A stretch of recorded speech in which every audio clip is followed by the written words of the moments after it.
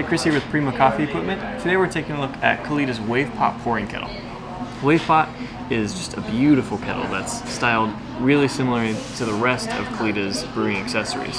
It looks really nice next to the Wave dripper, servers, etc. Has a very imp impressive um, and wide range of flow rates. You can go very slow, very quickly. It holds a thousand milliliters, making it suitable for just about any manual brewing application, single cup, couple cups at a time, etc.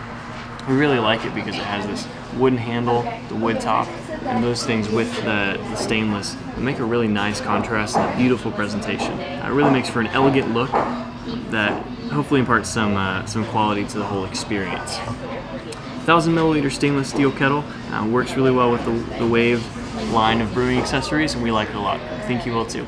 Thanks for watching.